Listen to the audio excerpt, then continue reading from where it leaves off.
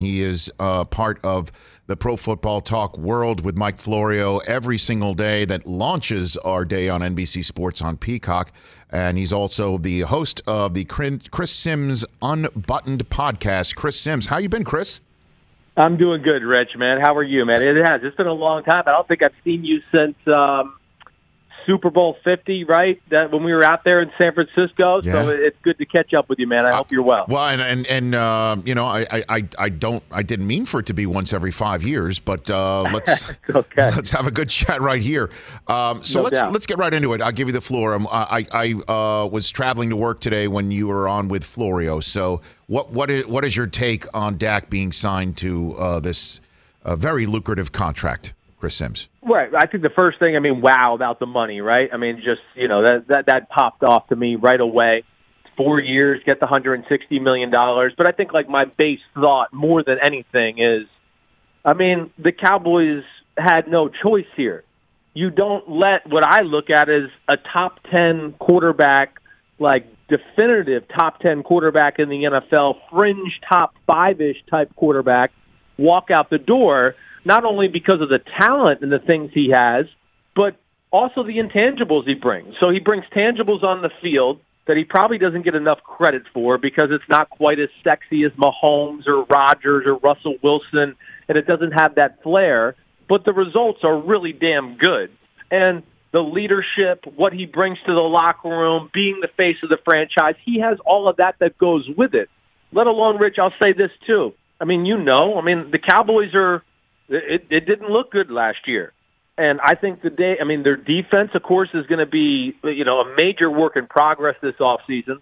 The running game is not what it was two, three years ago. Zeke's not the same back. That offensive line's not as dominant. The team right now, their bright spot is their receivers, their passing game.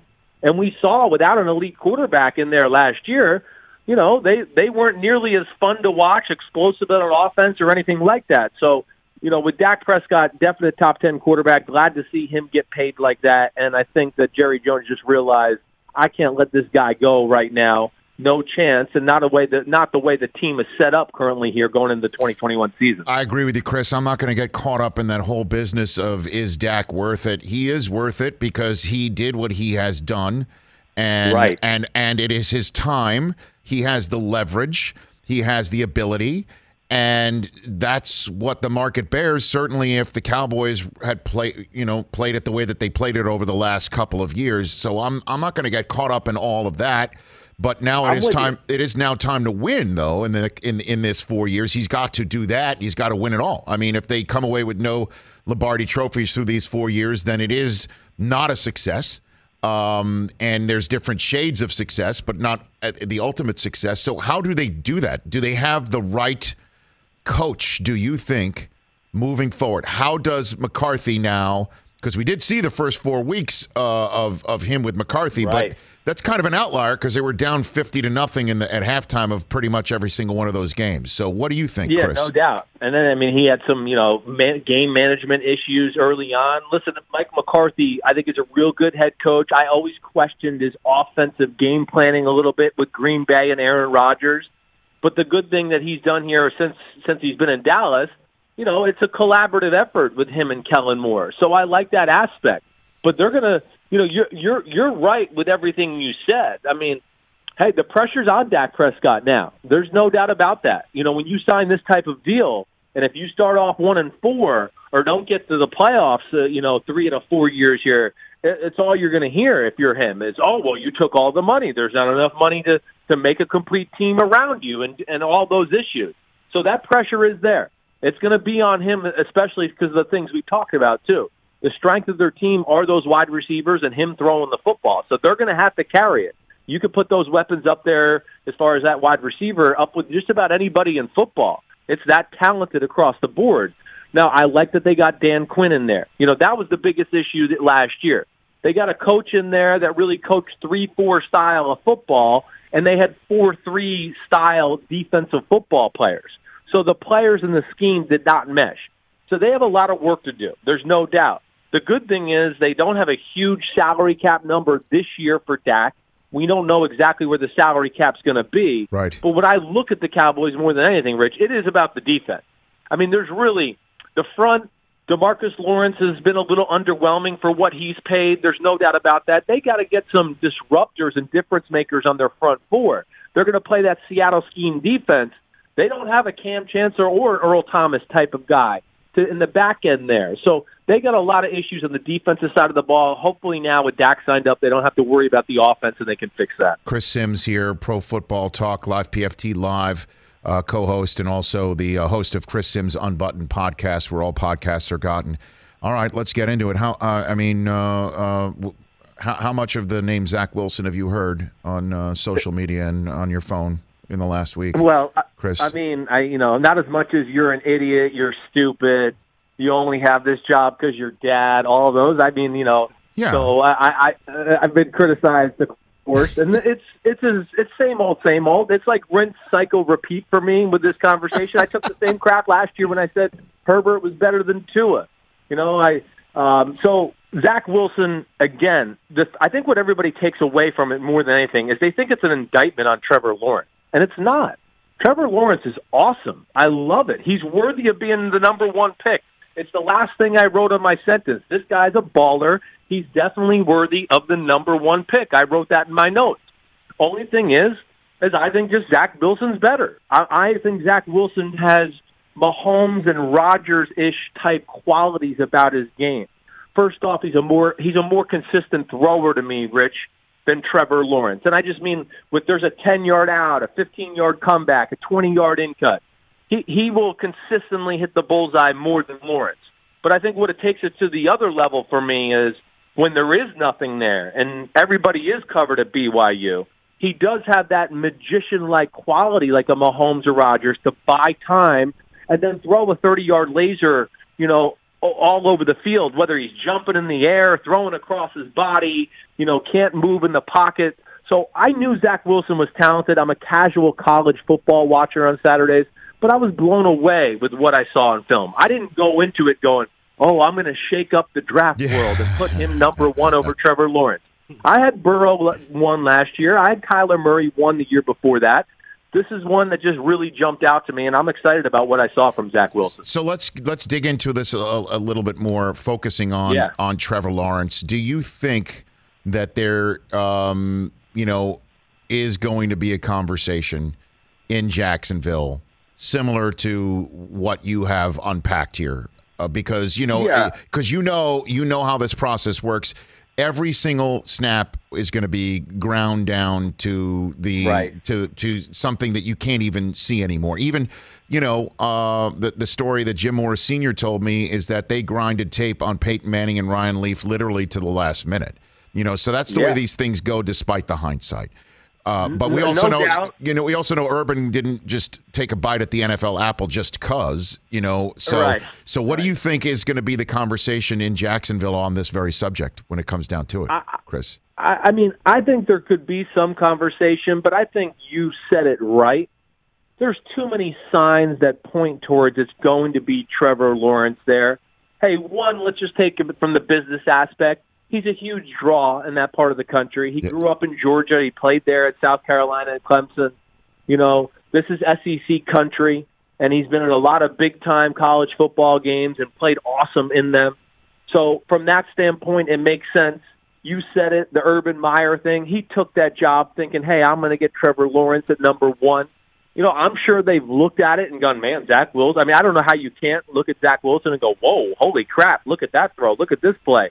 But but I also, this is where I go, I expected to beat Trevor Lawrence with the number one pick because of the offense they're going to run. I know Darrell Bevell's the offensive coordinator there, but I think you're going to still see a lot of Urban Meyer collegey stuff in that offense. And I do think Trevor Lawrence is is built for that with the ability to, you know, run the read option, the RPOs, all of that, a lot of screens. Oh, let's fake the screen, let's throw a 30-yard ball down the right sideline you know, let's fake the slant, throw the ball deep down the sideline that way. He's got a powerful arm. He can make every throw. He's a great back shoulder thrower, and there's a lot of throws outside the numbers. And size is a skill. His ability, like a Justin Herbert last year, you know, when there's people around him in the pocket, he's so big he can throw right over the top of them. There, there's something to that. You know, Brady can do that. Mahomes can't. You know, so there, those are things I do look at. I expect him to be number one because of all those reasons. I really do. But I also think that when I say that, I think Zach Wilson probably fits into more systems and is more NFL drop back pass game ready than Trevor Lawrence is at this point of his career let alone I think Zach Wilson's talent's a little bit better too. Chris Simms here on the Rich Eisen show, and you know, uh, I guess you were ten or eleven when uh, when your dad was attempting to win a second Super Bowl, and then got hurt, and um, so yep. you, you you had a front row seat to to know about what a crucible it is to be a, a New York City quarterback, and then here comes Zach Wilson now sitting there for the Jets. So I guess it's more of a germane conversation to ask you with all your perspective um, what the conversation is in the Jets building rather than the Jaguars building. So w- right. with, with Darnold there and the second overall pick, and then who the heck knows when the Texans might, you know, smell whatever coffee that uh, Deshaun Watson is telling them to smell.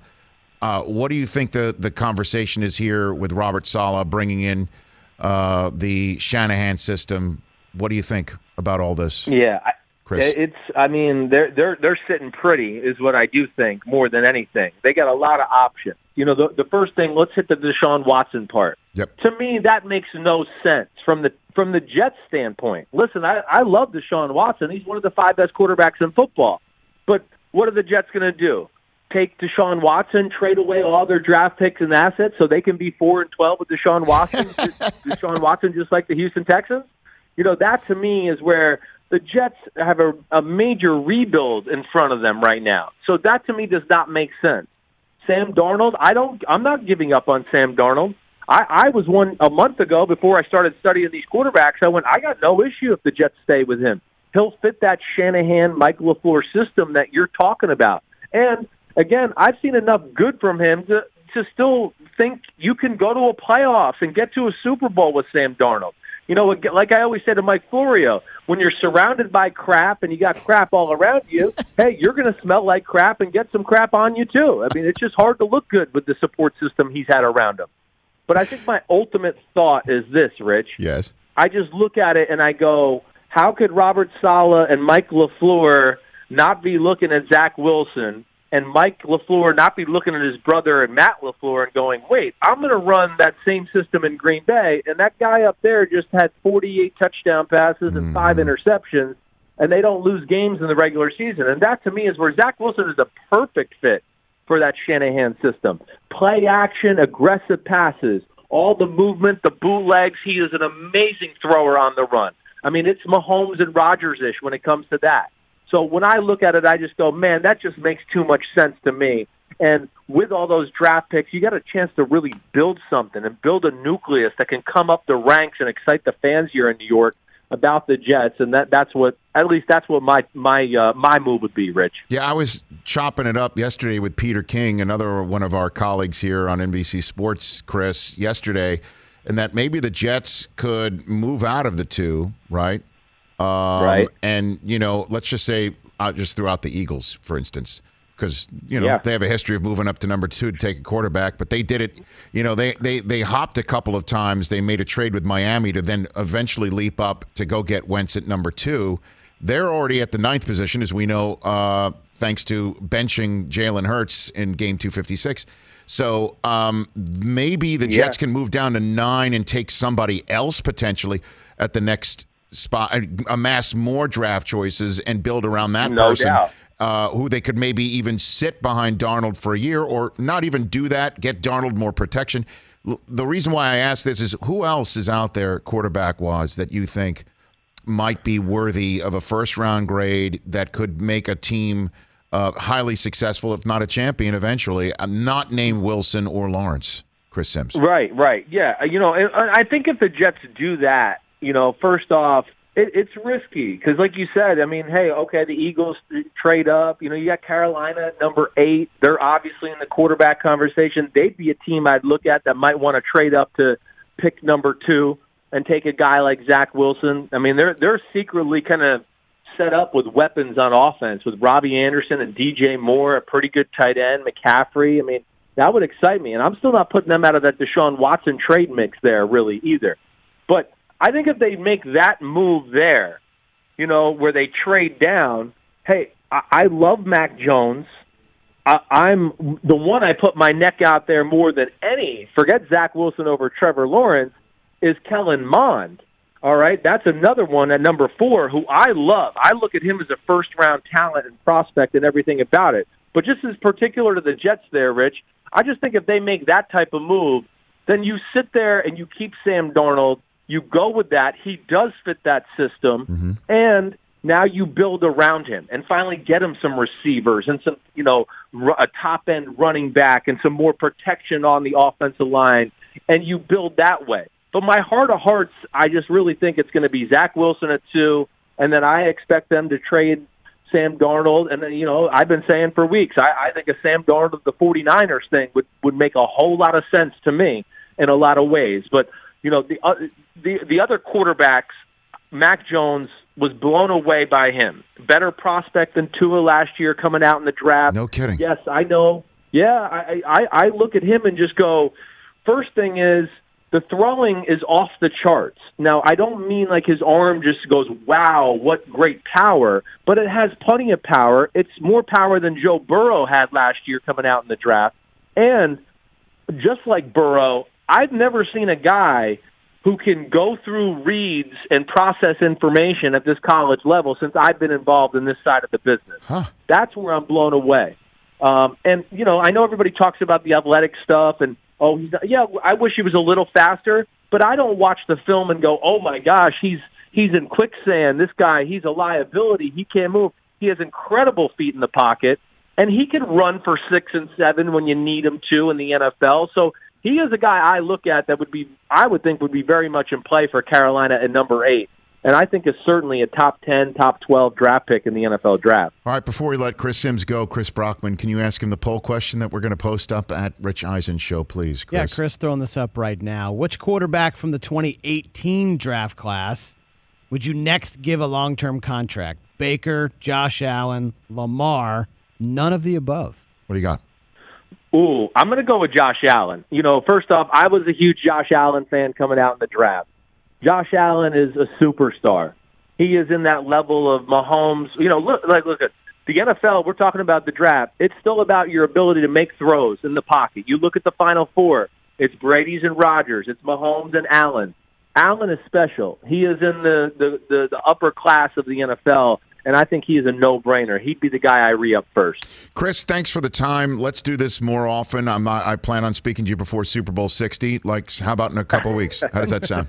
Sounds good. You let me know. I'm down, Rich. I appreciate buddy. that, Chris. Thank you. Right back at you. Chris Simms Unbuttoned is his podcast. And of course, you can catch him with Florio every single day to kick off the NBC Sports on Peacock lineup on PFT Live. Hey, you watched all the way to the end. Thanks for that. Watch more right here.